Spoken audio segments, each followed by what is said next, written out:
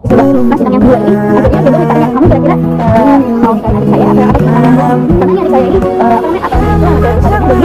kita ini benar-benar gitu bukannya mahal mahal mahal tapi dari segi ini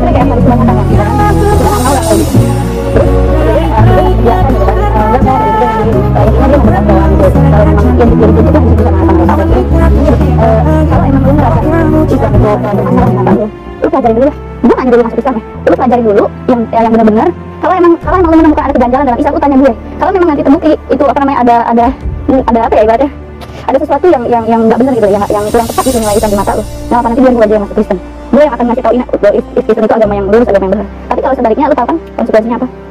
Ya dong lu jangan sampai apa kafir setelah beriman lu kan dikasih tahu nanti nih petunjuk itu harus ikutin jangan sampai lu balik badan. Ya itu gue lepas tangan maksudnya lepas tangan tuh ya udah berarti lu jangan gangguin lagi